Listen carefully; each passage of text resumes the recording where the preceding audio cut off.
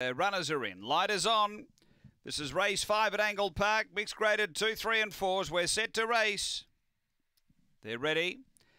Racing and uh, Rouge out well out deep. There's Speed Hopes Tribute. Rouge is moving up. Behind those is Daniel's Bully. Uh, then came Cutie Lee. Next is Five Grand Hot Princess and Corborn Cross off the back. Rouge runs to the lead. Gets clear from Hope's Tribute. Then Daniel's Bully and next Cutie Lee. But on the turn, Rouge is clear over Hope's Tribute and Rouge goes on to win well. Uh, four lengths in the end. Hope's Tribute second. Third Cutie Lee. Then Five Grand. Next Daniel's Bully from Corborn Cross and Hot Princess. The time here is around 22 and 10.